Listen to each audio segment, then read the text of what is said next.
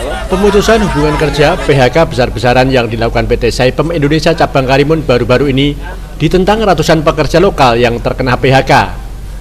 Pekerja dan mantan pekerja yang tak terima dengan PHK menggelar aksi unjuk rasa di depan pintu masuk perusahaan Kamis pagi.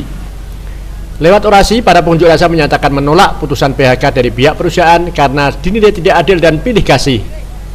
Pihak perusahaan mem-PHK banyak pekerja warga tempatan dan mempertahankan pekerja dari luar daerah. Arti Wahyuni, pekerja lokal asal Pangke mengatakan PHK yang dilakukan dinilai tidak adil karena hanya berlaku pada sebagian orang. Malah banyak pekerja dari luar daerah Karimun yang dibuatkan proyek baru.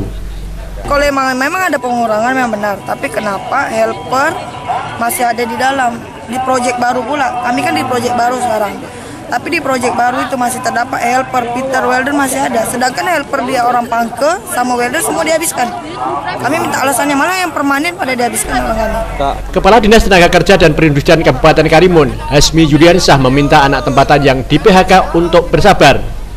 Saat ini proyek di Saipem banyak yang sudah selesai dan Saipem sedang melobi proyek-proyek baru.